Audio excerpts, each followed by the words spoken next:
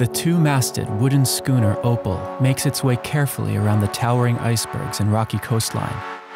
Even in the middle of the summer, this is a harsh environment. The captain and crew of the 24 meter vessel are taking their passengers on a week long tour of southeastern Greenland. The tour centers on the 350 kilometer long Scoresby Sound, with guests flying from Iceland to meet up with the vessel. And over the next week, they'll embark on a unique adventure.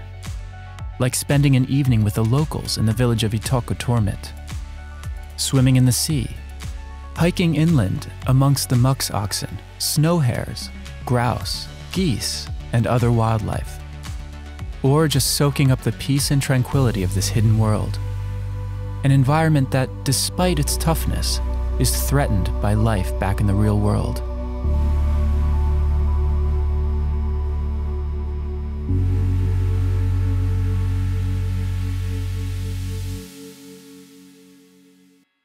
The crew of the Opal is part of North Sailing, a small, family run Icelandic company that for the last 20 years has been dedicated to the environment through whale watching and other tours like this Greenland voyage.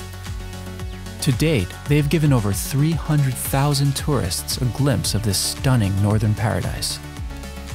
Running silently to not disturb the whales and other animals, the oak-built boats are all traditional fishing boats that have been lovingly restored and adapted to their new job, without compromising their original character. The same goes for the skippers and crews, many having been fishermen for decades.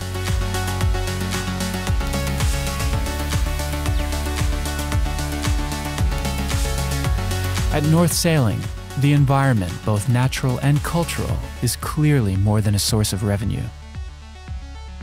It's everything.